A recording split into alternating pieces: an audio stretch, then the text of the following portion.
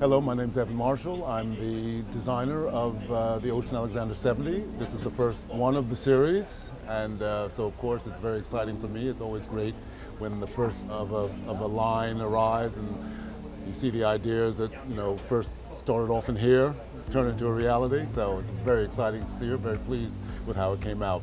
For me, it was also an opportunity to uh, do for the third time with the shipyard is to design a boat from the ground up. So new superstructure, new interior, as part of the new styling line for the boat, which we've established now for the last four years, continuing the signature of the new Ocean Alexander look that we've been responsible for. So we knew with this design we had to offer something fresh and exciting. And something like this, it's like a concert, it's like a piece of music. In a, in a piece of music, there's never one sound or one instrument that's your favorite. It's how it all comes together.